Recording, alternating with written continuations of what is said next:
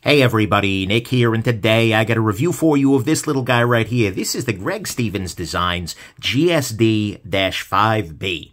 Uh, what a name, right? but first off, uh, before I go any further, I want to let you know this was sent to me by Greg Stevens. He reached out to me because I, you know, I've been a customer of his before. I'm a fan of his work more broadly. He said, Nick, do you want to check out the GSD-5B? I said, yeah, sure, absolutely. I'd love to check it out, but I told him, as always, to talk about the good, the great, the bad, and the ugly. It might be a gem, it might be junk. He did still send it along. Nonetheless, we do have to assume this is the very best quality controlled one of these guys ever, and I'm doing my best not to let that affect the nature or the quality of my review. Next thing, let's go on ahead and do a little bit of size measurement here.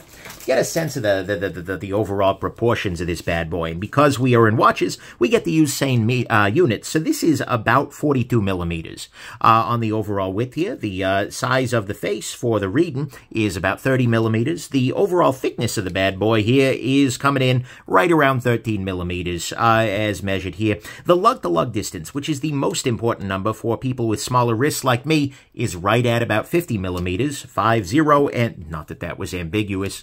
Uh, you're not going to look at that. Anyways, I digress. Uh, and so what we see here is this is a, a pretty reasonably big size watch, actually.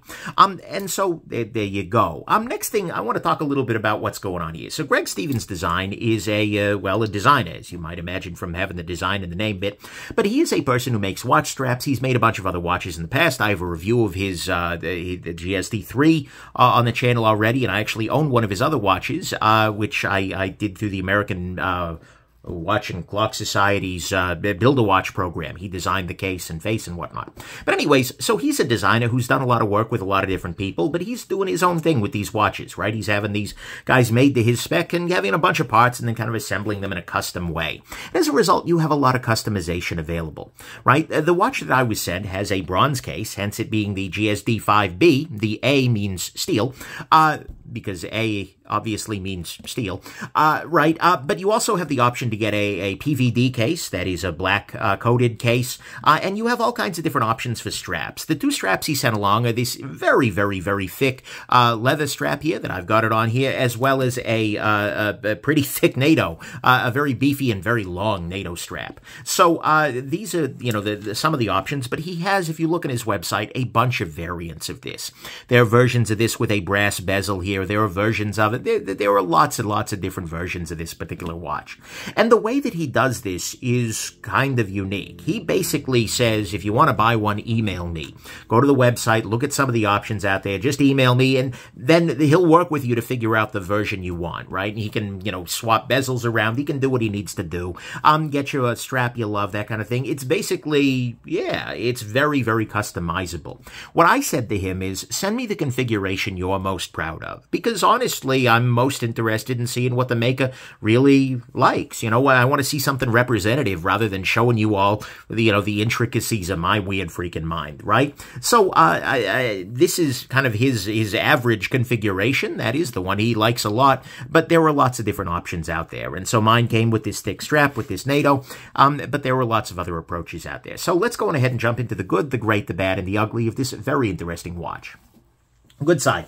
This actually does come with a polishing cloth and a little bespoke envelope, right? So it's a good old-fashioned polishing cloth here, right? And uh, it, it, works, and it's actually a nice thing because it allows you to kind of clean up the brass, uh, bronze that is, a little bit, right? You can see I've gone from a little bit more tarnish down on this end to a little bit shinier on this end, right? It's a beautiful thing, right? And the, the, this is a nice thing to include with the uh, with the brass, uh, I'm sorry, with the bronze there. So there you go. It also comes with a custom uh, tang buckle on here with GSD on there. This is a big old buckle, right? This is gigantic uh, at some level. That's kind of uh, Greg's aesthetic overall. Um, but the, the, the buckle and strap are very, very uh, beautiful on the watch. I really wish I liked wearing it on this strap because it, it is very, very attractive. Another thing I'll say is that 50 millimeters lug to lug is huge, right? In most situations, that is not wearable for somebody like myself with a 6.25 inch wrist. But in this particular case, the curvature of the case, right? This little guy kind of folding down a little bit makes this wear a lot better than you would think, right? I'll go ahead and I'll just show you this. And it actually, yeah, it, it looks a little big on me, sure, but it's not out of line. And it can be comfortable in part because of these draping lugs, right? Compared to some of the straight, you know, like spread eagle lug watches out there in the world. This is a whole lot nicer. Having that little bit of curvature makes this wear a lot better than I would think. Next thing, the uh, crystal on this is quite nice. We see this is a sapphire crystal. Actually, we don't see that. Well, technically we do if we look on this side. But nonetheless, this is a sapphire crystal, right? Um, and that's a beautiful thing, but it's also domed. You can see there is a little bit of crystal sticking up above there. There's just a little bit of pleasant distortion, although the face itself is eminently readable, right? So you get a little bit at off angles, but for the most part, the, the, the, the watch is perfectly readable. There are definitely some domed sapphire where the whole thing looks like you're looking in through a fishbowl, and it's like, no, I don't think so. Thank you. I'll pass. But this is quite good. Um, and overall, uh, I got to say, the lume on this guy is also quite good. Well, we're talking quite good here. Uh, let me go on ahead and charge this off camera with a very powerful flashlight. What we're going to see here is that the lume on this is strong right? That is some strong freaking lume, and this is all night kind of lume. It, it is great. And the cream colored lume uh, actually works, the coloration on the dial itself works pretty well here. Right now it's going to seem a little greenish for a while because it's just been charged, but you can see here there's a lume pip, there's lumed hour hand, minute hand, second hand as well. Um, it is very, very good lume, very good. And it's very legible too, right? Because you have two different hands. The hour hand is not just a little bit shorter, but it is also wider, and it is separated with these little line at a different place place than the minute hand is, and the second hand is completely, you know, yeah. Um, so this is a very, very legible watch, and that's a beautiful thing as well. You look down at this out of the corner of your eye, you know what time it is, and that's great. And the little bit of extra um, polish on those hands gives you the chance of, even in a darker situation, getting the reflection off of something else. It's hard to show that off right now because the lume is going, you know, freaking gangbusters there. But at the same time, yeah, you can see right there a little bit of that reflection. Beautiful, beautiful thing. So, uh, you know, I like that very, very much. Next thing, this is 300 100 meter worth of water resist. In practice, uh, 30 atmosphere. Does this matter? No, really, not really. um, that's the point. Uh, 300 meters and 100 meters are about the same for most people's daily life, but what it means is you don't have to worry about water. It is on a leather strap, so in that case, you have to worry about water. But if you put this on something like a cloth or a NATO or something like that, you, you, you are going to be just fine to take this in the drink. That's a beautiful thing. Next thing, the bezel on this guy is good. It is a nice crispy feeling bezel right? Not a lot of bezel play to it, unidirectional. Feels very good. Feels very satisfying, honestly uh, and just as unsatisfying as that's going to be to a small portion of my viewership. There you go. So uh, this is a very, very satisfying bezel. Um, it is not particularly legible for diving. You can see here that the these parts here are not painted. It's just black in there. I guess you could paint it after the fact if you wanted to, but nonetheless, um, it is, uh, but the pip is very, very visible, and for me, that's how I use a timing bezel. Well, a dive bezel is in practice like, oh, when do I pick up the pizza? I pick up the pizza when this go, you know, when the hand is there, right? It makes it a little bit easier, right? So, uh, but for me, the bezel is just what I need it to be, uh, and that's a beautiful thing. Movement in this guy, unfortunately, there is not an open case back, so you can't see it, although the case back is itself pretty attractive. Um, the, the movement in here is a Sellita SW200-1. Um, this is a, a, movement that is either automatic, meaning it'll charge itself as you wear it, or it is a hand wind movement. Uh, you can hand wind it just by pulling out the crown. It is a hacking movement, which means that when I take the crown out and pull it all the way out here, you're going to see, oh yeah, that's right, second hand stop. It's a beautiful thing, allows you to set it accurately, and it is accurate enough for daily life. I have not noticed accuracy problems with this with a bunch of wrist time on it. I've had this guy actually for a while now. It's been embarrassingly long, at least five months. Uh, sorry about that, Greg, but nonetheless, this has been perfectly fine for me on a daily basis, and it has a 38-hour power reserve. By the way, if you're seeing this, that's from the polishing process, not from the any problem with the watch itself. Um, but nonetheless, it's got a, a very big uh, power reserve on there, which, well, okay, not very big, but a more than adequate one, right? Around what you would expect. Uh, and so that's a beautiful thing. Next thing, this guy has drilled lugs. That means is right here, and right here you have little holes, which means you can just take a spring bar tool, and when you want to remove the strap, which I think a lot of folks might, uh, you will go on ahead and Just press that through there and then you're done. You're not having to use the little fork in there. You're not having to, and it just opens up your strap options a little bit more. You don't need straps with a little hole there. You're not tearing at your leather, scratching up the back of it. It's really nice and easy, right? So that removable, uh, the drilled lugs are a beautiful thing, as is the offset crown. We can see here the crown is not at three o'clock, but is over here closer to, well, about four, right? And that just means it's not going to push into your wrist or something like that if you have big beefy wrists, right? That is uh, that's a nice thing to have there as well. Next thing that I will show you as soon as I reattach this bad boy. Come on now. Unfortunately, it only works one direction, right? the drilled lugs. Okay, there we go. So, uh, next thing, I really do like the polished hands on this. It's a nice detail. It wasn't strictly speaking, I guess, necessary, but oh my god, it is kind of necessary, right? Because it makes it so much more legible in more lighting conditions, and frankly, it's just nice. It looks pretty. It's kind of got a rose gold vibe to it, which I do appreciate. Um, and so that's a nice thing. I do kind of wish that the indices had some polish to them as well. They are just paint on there, but at the same time, it, it works well. Um, and it's legible enough without them. That's a nice thing. Next thing, this customization is great. In the world of, you know, dealing with the big Swiss watch companies of we released a brand new hot model. It's the same thing we've been making for 30 years, but this time the bezel is blue makes it really refreshing when somebody's just like, yeah, let me make you the watch you care about. Just give me a, shoot me an email, right? I like that. That's good. And I hope he's able to keep doing that in the future. It's a, it's an absolutely, see, it's starting to bother even me now. But it's an absolutely beautiful thing that you're able to do that, and it makes you more likely to get one of these that you really love. Then finally, on the good side, this is a watch that is relatively unique. And a lot of people go, oh my god, it's an absolute, not a relative. Yeah, it's relatively unique. Take it, commenter. Um, this is a watch that is not really like anything else else in my collection. Being in bronze is not particularly common. The black bezel is not particularly common. The dial itself, some of those details, not particularly. This is just a nice way to, to mix it up, right? It's kind of subtle. It's a little military, but it's also quite classy and it looks pretty damn good. This is a watch that I've really appreciated and it feels very different than the other stuff in my collection. And that to me is a beautiful thing and is part of the reason it's gotten so much wrist time. So to me, all that's the good.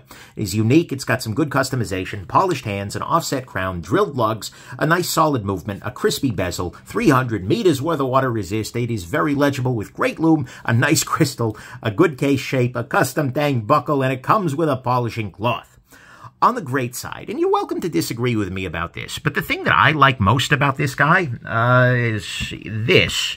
Right here, that's the branding. That's the branding. If you just look at it head on, you don't see anything. But if you go to slight off angle, you see that GSD's logo is there. Very large. Well, not very large, but large, prominent, readable, but just not immediately visible. And same thing down at the bottom, right? We see GSD 5B. Right there on the dial. It's right there waiting for you. But it's just not immediately visible. And to me, that is a really, really strong move, right?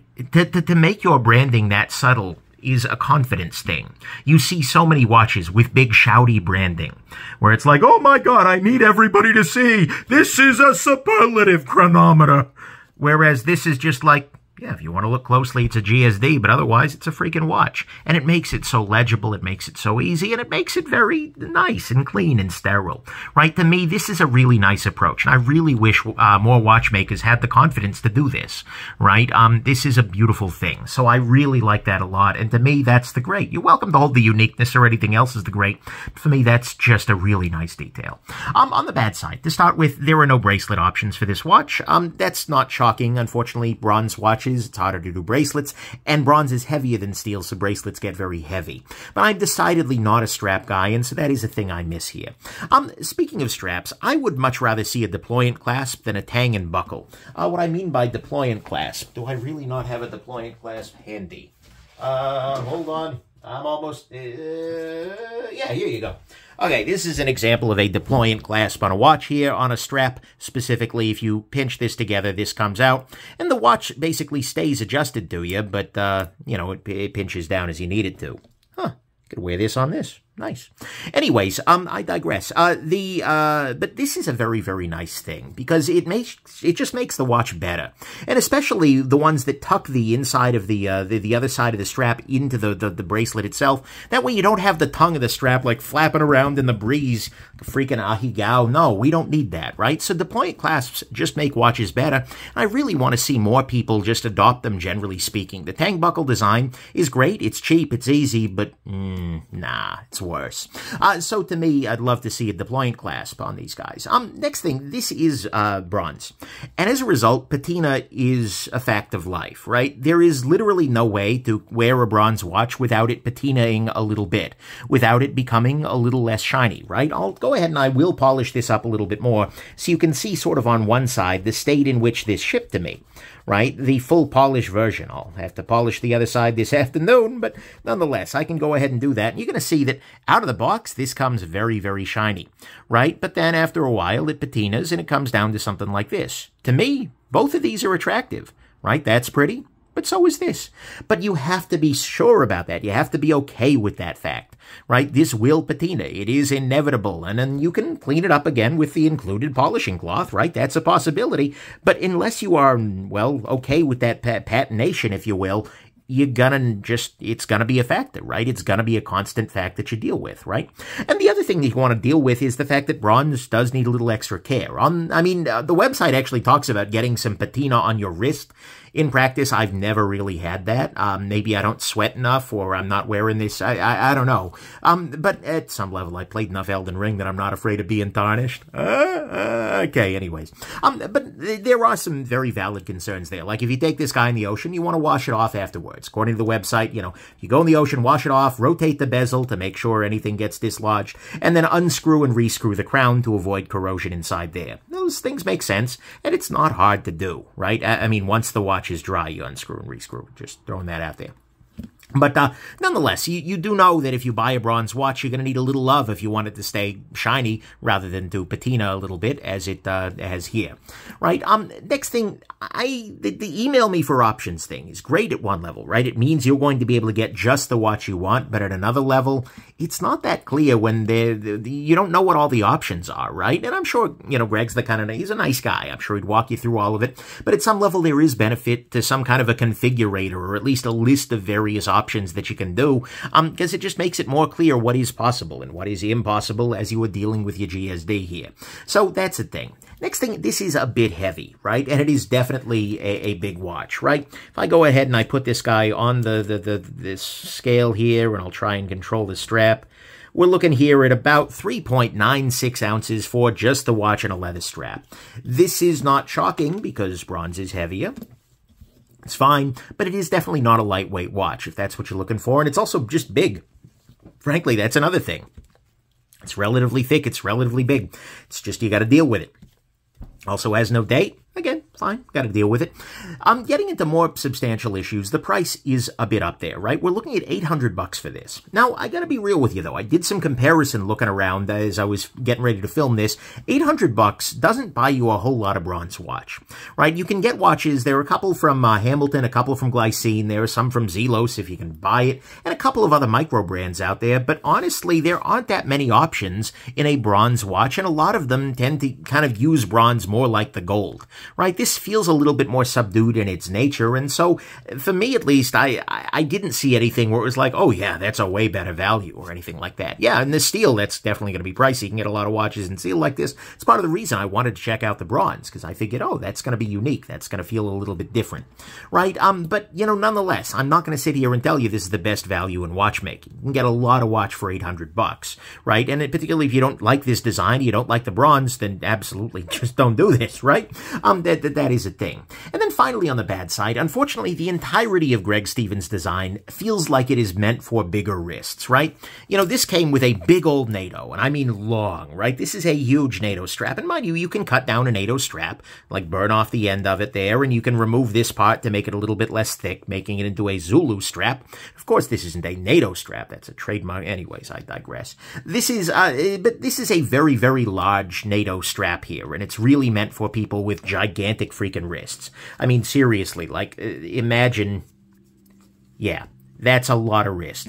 Anyways, so, uh, and then the, the bracelet itself, I'm sorry, the strap itself is this really big, thick leather with a really big, thick tang buckle. And it is a big, thick watch, right? Um, GSD's core constituency in, night, in uh, watch design, that is, appears to be Hellboy with the big, thick hand of doom, right? Um, everything is kind of built for that. And for those of us with smaller wrists, this strap is, well, we'll, we'll get there. So, um, to me at least, that's what's bad here, is that everything is sized for bigger wrists. With GSD, it feels like the price is a bit up there. It has no date. It is big. It is heavy. The email for me, uh, email for options thing is great for customization, but a little bit rough in terms of seeing what the options are. The uh, bronze is going to need a little bit of love. Patina's effect the life. A deployant would just make this better, and there is no bracelet option.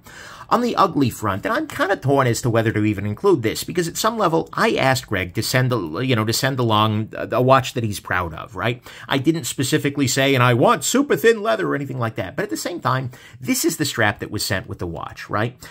This is not a small wrist friendly strap at all, right? If I put this on my uh, 6.25 inch wrists here, do that here get this get a freaking turnbuckle to get this thing to flex. Um, this is absolutely a big old strap, right? If I have this on, I have this much, it's hard to show this off on camera, strategic failure here. But I have a huge amount of leather just sitting, hanging out at the bottom of my wrist, and even more so where this damn strap keeper is, right?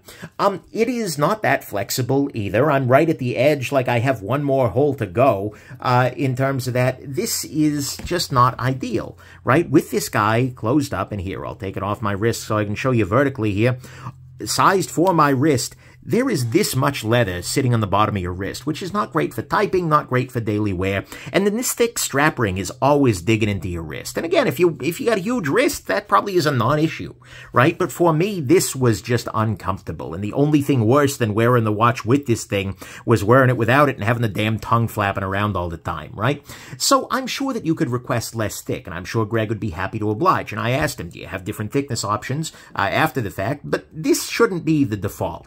I feel like it's like when you rent request a rental car and they hand you the keys to a fully armored Humvee. Like, yeah, that's going to be great for a couple of things, but it's probably not the right choice for most people's daily drive. We have managed to move past the overbuilt fad in the knife world, and I'm kind of looking forward to us moving past it for watch strap. Because for a while now, I've gotten a few different straps from companies out of the that are this damn thick, and every time it's like ergonomically, did you wear this? Or maybe you did, but you're Hellboy, and it's okay, right? I ended up, in order to, you know, really wear this watch in any depth, I ended up wearing it on this guy. This is a Nick Mankey Designs hook strap. Um, and this made the watch incredible. It's a whole different world, right? And I'm sure if you customize the strap, you can find something that works for you, but be careful with what you order here if you're on the smaller wrist side of things, because these big, thick straps are absolutely a choice, but they're not the right choice for a lot of people.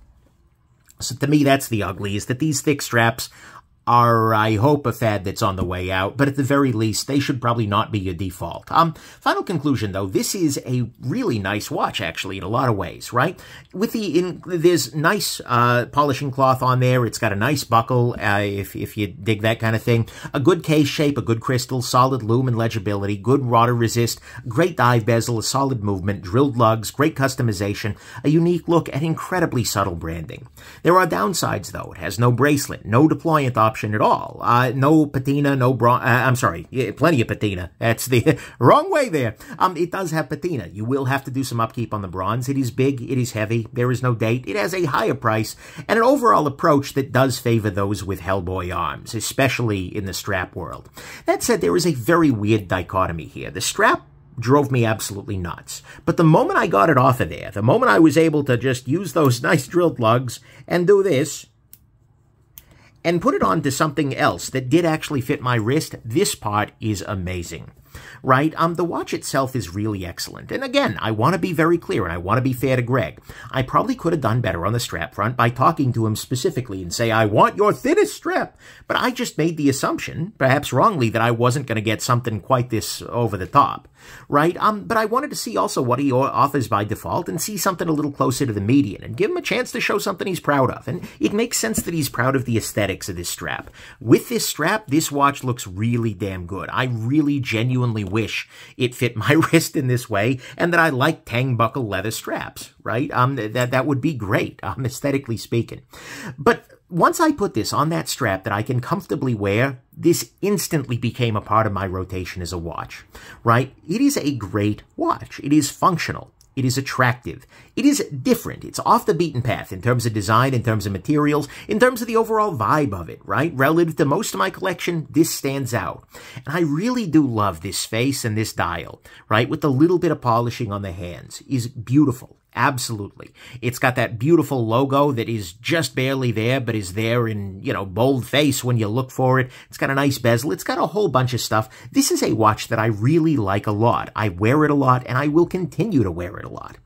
I am a little bit on the fence, being completely honest with you, uh, about gem status for something that on the box, out of the box that is, didn't really work for me with either of these options. This strap is so long and thick that I'd have to, you know, fold it over 16 times to get in there, and with this big... Anyways, I digress. Um, but I acknowledge also that that is a matter of taste and of wrist size. And I'm sure that had I talked to him and done this custom for me, rather than just asking for what he was proud of, I, I, I would have gotten something very different. So once I, what I will say is that once I found the right strap for me, this was absolutely a gem, and it is absolutely a gem. It's a watch I have loved wearing a, a, lot, right? It's got good practicality, good design, and it is way distant from the crowd. And so, although I hope very much that the next one is sized for normal humans, and that, you know, maybe the straps thin out a little bit here in the future, uh, GSD is absolutely, uh, Greg Stevens is a company that will remain, or a, a dude, I suppose, a dude and the company, uh, uh, who will remain on my radar in the future. So anyways, there you go. Hope this has been interesting to you, and have yourselves just an absolutely wonderful rest of your day. Get it, GSD? Okay, that was pretty bad. Anyways, have a good one. this review took a dive. Uh, bye now.